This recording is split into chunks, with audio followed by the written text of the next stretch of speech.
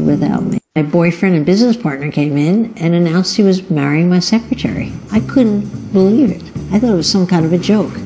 I'm Barbara Corcoran and I'm a shark investor on ABC's Shark Tank. I started my business when I was 23. It was a real estate brokerage firm and I built it and sold it when I was 50.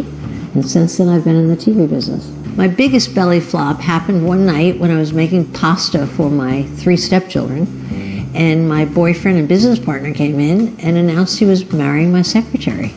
I couldn't believe it. I thought it was some kind of a joke. But in an instant, I realized it wasn't a joke. And he said, Take your time moving out. I took about a minute, grabbed my toothbrush, and got myself out of there.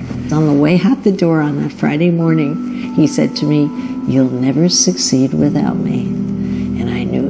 Everything in my bones that I would rather die than let him see me not succeed. I then moved on to the sofa of my best friend in Manhattan, and that became the beginning of a, a terrible spiral of ego. Now thinking back at it, I'm thinking, why was I so hard on myself? But he left me for the younger woman. After all, he had found me, he had given me the money to start my business. He was my boyfriend, I was the mother to his kids. I thought I had a right to be there. Life's not that way. And so I walked in about a year later when I was able to build the courage, and I told them, We're ending the business today. We're going to chop our 14 people in half. You take seven, I take seven, you pick the first one, I'll pick the second, etc. I was able to rent the same space in the same building for my landlord that afternoon, and I moved my seven people on Monday morning into their new space with their possessions neatly packed in a box. And that was the beginning of my second business, which became really my fortune and my love in life.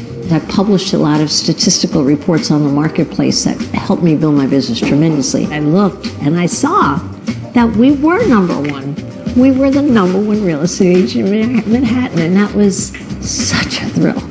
And I later sold that for $66 million, almost 20 years to the day. And now it seems so unimportant. Who cares if he had a younger, prettier wife? What a joke.